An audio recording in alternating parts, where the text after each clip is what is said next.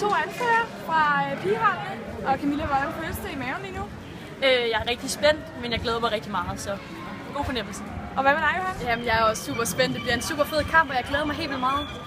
Hvad for nogle forventninger har I til kampen? Øh, jeg forventer, at det bliver en meget spændende kamp, øh, med meget spil og masser af store chancer, og så en hård kamp. Hvad siger du, Johan? Øh, Jeg forventer en kamp fuld af fight, øh, energi i det. Øh, alle spillere skal være glade.